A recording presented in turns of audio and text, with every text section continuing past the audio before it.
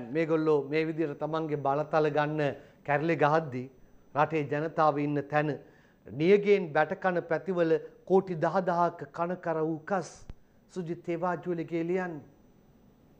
පුරවැසේනී ඇහුණාද කෝටි දසදාසක කනකර උකස් කියලයි කියන්නේ. අධික නියගිය පවත්වන දිස්ත්‍රික්ක පහළවේ ජනතාව විවිධ ආර්ථික ගැටලු හේතුවෙන් රුපියල් කෝටි දසදහසකට වැඩි කනකර ආභරණ ඇතුළු දේපල උකසට තබා ඇතැයි වාර්තා වෙනවා.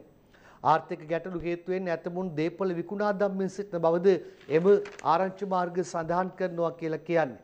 අධික නියග තත්ත්වය හේතුවෙන් දිස්ත්‍රික්ක 15 ලක්ෂ දෙකකට වැඩි පිරිසක් උග්‍ර පානීය ජලහිඟයකට මුහුණ පා සිටිනවා. සිදු වී ඇති වගා හානිය අක්කර 60000ක් මුවා ඇතැයි කෘෂිකර්ම අමාත්‍යාංශය සඳහන් කළා තියෙනවා. මේ අතර ආර්ථික ගැටලු හේතුවෙන් රට පුරා ජනතාව රුපියල් කෝටි 68729කට වැඩි වටිනා ස්වර්ණාභරණ පසුගිය වසරේදී බැංකුවලට සහ උකස් මධ්‍යස්ථානවල උකසට තබා ඇතැයි පේරාදෙණිය විශ්වවිද්‍යාලයේ ආර්ථික විද්‍යා හා සංඛ්‍යාන අධ්‍යයන අංශයේ මහාචාර්ය වසන්ත අතුකෝරල සඳහන් කරනවා. ස්වර්ණාභරණ මෙසේ උකස් කර ඇති වැඩි පිරිසක් මධ්‍යම පාන්තික ජනතාව වෙනවා. කෘෂිකාර්මිකා දරුවන්ගේ අධ්‍යාපන කටයුතු සඳහා මුදල් සොයා ගැනීමේ අරමුණින් ස්වර්ණාභරණ මෙසේ උකස් කර ඇති බව සමීක්ෂණයකින් තොරතුරු අනාවරණය වූයේ ඇයිද මහාචාර්යවරයා කියලා තියෙනවා.